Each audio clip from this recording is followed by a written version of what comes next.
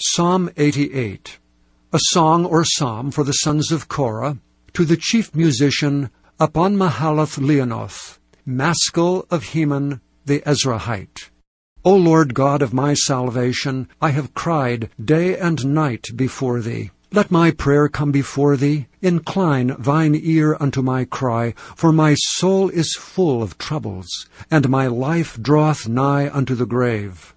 I am counted with them that go down into the pit. I am as a man that hath no strength. Free among the dead, like the slain that lie in the grave, whom thou rememberest no more, and they are cut off from thy hand. Thou hast laid me in the lowest pit in darkness in the deeps.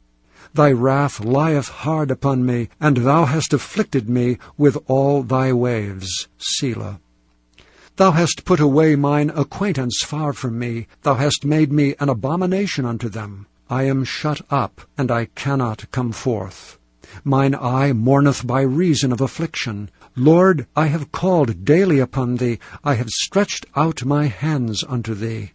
Wilt thou show wonders to the dead? Shall the dead arise and praise thee? Selah. Shall thy loving kindness be declared in the grave, or thy faithfulness in destruction?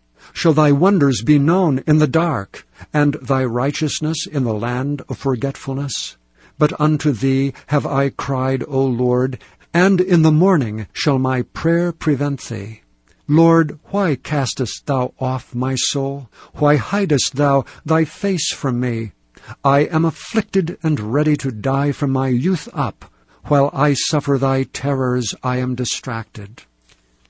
Thy fierce wrath goeth over me, thy terrors have cut me off. They came round about me daily like water, they compassed me about together.